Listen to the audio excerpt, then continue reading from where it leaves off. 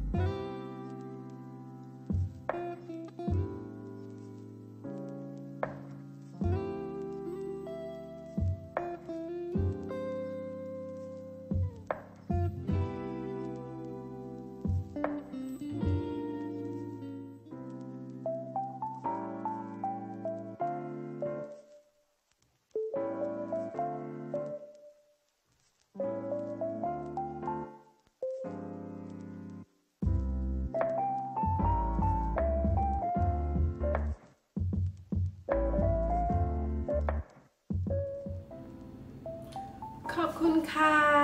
ยังไงพิสดารหวังว่าทุกคนจะชอบการทำฉู่ฉี่ปลาในเทปนี้กันนะคะ ยังไงก็อย่าลืมกดไลค์ กดแชร์ กด Subscribe แล้วก็ฝากติดตามพิสดาร Kitchen Channel ด้วยนะคะ ยังไงวันนี้ขอลาไปก่อนค่ะ บ๊ายบายค่ะ